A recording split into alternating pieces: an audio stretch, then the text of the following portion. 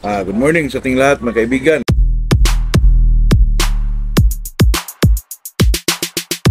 Kaibigan, ah, kahapon po hindi tayo nakapag-vlog kasi brown out dito buong araw mga kaibigan. Kaya ganon, pero okay na rin yon para medyo makarest din tayo mga kaibigan.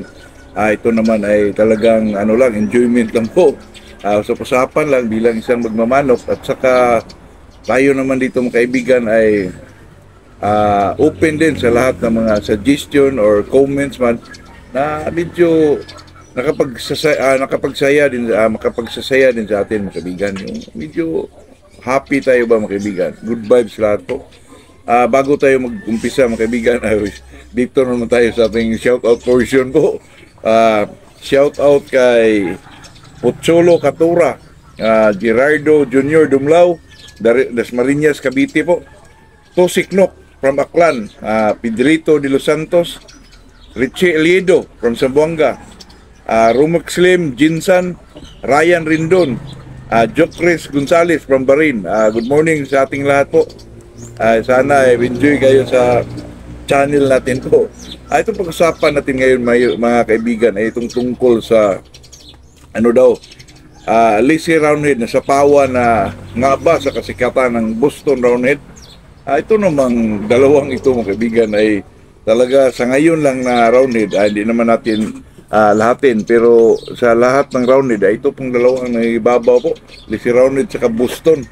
Ah, meron naman iba itong alin, pero ito lang talaga mga pag-usapan sa mga kaibigan. Kasi ito ay mga ano po, ah, mga legend sa mga legend na manok.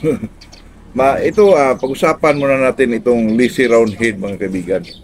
Ito kasi yung Lisi Roundhead ay nano ano ito originated from ah, Texas mga kaibigan. At saka itong manok na to ay ah, na-breed ito ni Judge Ernest Lisi Lisi Judge, ah, Judge Ernest Lisi po. Ah, kasi itong Lisi Roundhead mga kaibigan dati po ako po ay naguluhan diyan. Ano ba itong Lisi? Ano ba itong Dangri Lisi Roundhead? Itong Gary Gilliam, mayroon naman Dangri Red. Ah, hindi ko alam mga kaibigan kung ano ba talaga itong Lisi Roundhead. Kaya nung nagtaka ako, nung ah, natuklasan ko, ah, nag-research ako, ayun pala, ah, ito palang si ah, Judge Ernest Lacey. Ay siya pala ang nag-ano dito mga kaibigan, nang nag-breed sa manok na to. Ito ay crosses ng sa umpisa niya ay cross siya sa Irish Gimpaul. Alam naman natin yung Irish Gimpaul mga kaibigan. Siguro ito yung ah, yung mga puti ang mata mga kaibigan, katulad nung Diba, natandaan mo yun yung ano po, yung ah, bulik, 'di ba? May mga iris dome. Ayun, mga puti ang mata doon, mga kaibigan. At saka itong brown ridge, ah, kilalang kilala naman itong brown ridge. At saka na-cross daw sa mga English gimpaul, gayon ang ginaganon. Ah, di- ah, ito naman English pi- ah, gimpaul, alam naman natin siguro ito na ito yung mga ano siguro, mga American gimpaul, ah, kung, kung siguro yung mga white hackle, itong mga claret, baka ganyan mga kaibigan. Na comment lang kung baka nagkamali din tayo rito na ito mga kaibigan, then selection. Ah, dito na lumalabas yung Lacey Roundhead po. Ah, ito talaga ang nag-una nito ay si Judge Ernest Lacey mga kaibigan. Yun sa kasagsagan ng ah, umabot na ng ah, panahon na matagal na ay marami na rin nakakuha dito mga kaibigan. Ah, at saka itong Lacey, daming kulay po na tuklasan ko. Mayroon parang Spangled Lacey, mayroon palang ah, Golden Lacey, mayroon palang White Lacey Roundhead. Ah, ganun ba mga kaibigan? At saka mayroon ding mga Dark Lacey Roundhead po. At saka ang daming nagbe-breed dito mga kaibigan. Alam niyo po, ah, ito kasing Lacey Roundhead mga kaibigan ay ano po to? Ah, ang daming varieties po at saka ah, ang daming nagbe-breed katulad ni Frank Ellis, Hag Norman, Red Stick, Lacey Roundhead, Iron Creek, ang dami po, Billy Abbott, Spangled, Ah, ito namang mga ganyang ano mga kaibigan pero ang nang- nangibabaw sa kanila pa eh ah, sa kanila po ay itong si ano si yung kilang kilala mga kaibigan si Dan Gray ito talaga Dan Gray si Roundhead itong si Gary Gilliam Roundhead at saka itong si Ray Alexander ah, Ray Alexander uh, Lisi Roundhead. Ah, itong an, itong ah, Gary Gilliam Lisi Roundhead mga kaibigan sa ngayon ay talagang sila po ang medyo nasa ah, top ngayon, kaibigan. Itong Dan si Roundhead, Gary Gilliam. Ah, Ray Alexander naman ay medyo talaga itong dalawa mga kaibigan, si Danby at saka itong si Gary Gilliam po. Eh mayroon pala din si ano nito, si Blackwater, uh, Caronis Smith po. Mayroon din palang Lizzie Roundhead po. At saka ang karakteristik ng Lizzie Roundhead mga kaibigan ay speedy po sila mga kaibigan, speedy, at very athletic, angat, may palo din. At saka mga mga ilag mga manok na to mga kaibigan. Ah, sabi dito aggressive daw pero yung aggressive mga kaibigan eh bakit ano may ah, di lang natin alam kasi na-develop na ito sa mga ah, daming breeder din. Ah, at tayo naman dito sa baba mga kaibigan ay kung mag-research tayo ay yun lang ang makita natin sa social media, sa sa pusapan sa mga magmamanok at tayo na may mag-adapt para naman makuha natin yung ah, ah, mga history nila para naman kung mag-alaga din tayo, alam natin kung ano yung mga ano nila kasi napaka-importante na kaibigan sa manok po. Lalo na mag, pag makakuha ka ng isang bloodline, ah, gusto mong mag-line breed. Ah, example lang, ah, line breed ka ng claret, tingnan mo yung away na isang manok po. Tingnan mo kung kapariha ba sa iyo at saka yung kulay nila. Para pagpasok mo sa kanila, ay talagang silang-sila pa rin po. Ah, mayroon kasing katulad itong mga American breeder mga kaibigan. Lisi round nila, iba-iba ang karakteristik eh. May mga sugod, may mga medyo abang, eh, iba-iba po. Kaya tayo naman dito sa mga sa Pilipino na side, ah gustong-gusto talaga natin yung lisi round nila umangat po. Umangat, may mga ilag. Yun ang pagkakilala natin sa lisi roundhead mga kaibigan. Kaya tayo naman, ah sinasabi natin na ang lisi roundhead ay nasa pawan sa ano po, nasa pawan sa Boston. Kasi itong Boston naman mga kaibigan, ang ano nito eh ano to galing England daw napunta sa ah, Boston ba yun? Hindi, di ko na maano mga kaibigan. Basta itong manok na to mga kaibigan ay cross sa ano, itong mga tinatawag nilang asil po. Itong asil na to mga kaibigan ay galing sa ano daw, ah, India at saka Pakistan at saka na-cross na ah, sa isang breeder ng ano, yung mga English do mga kaibigan. Siguro itong mga white hackle. Ah, ang breeder nito mga kaibigan, itong Boston Roundhead ay si Ned Hill.